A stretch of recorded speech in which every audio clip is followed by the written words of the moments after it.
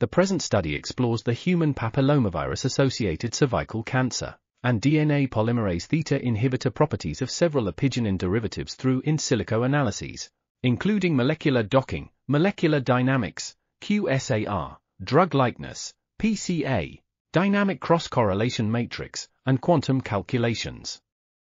The study reveals promising energy-binding interactions between all apigenin derivatives and the targeted proteins, with apigenin for O-rhamnoside and apigenin for alpha-rel. Rhamnoside demonstrating higher potency against HPV45 oncoprotein E7.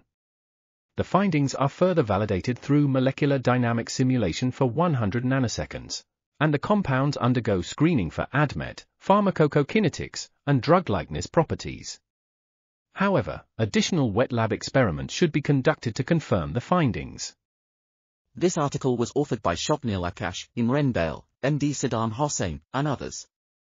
We are RTCL.TV, links in the description below.